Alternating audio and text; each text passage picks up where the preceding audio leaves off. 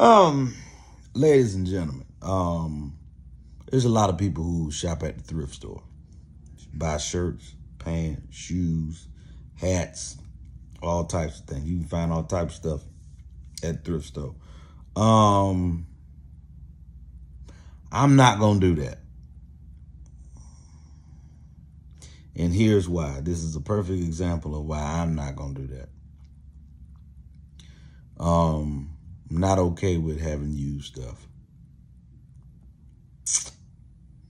I'm just not. I'm I'm I'm just not. I I somebody who used to wear these pants didn't wear underwear. So now they got they they got they you know it, it was a man. It was a man. I'm assuming. More than likely it was a man. And uh there was a shark. I don't know if this was a consistent shark, but it was a shark. And they did not it, this is a very old school man because they didn't they they obviously either don't believe in they didn't know don't show or just don't care nothing about wearing uh, using wet wipes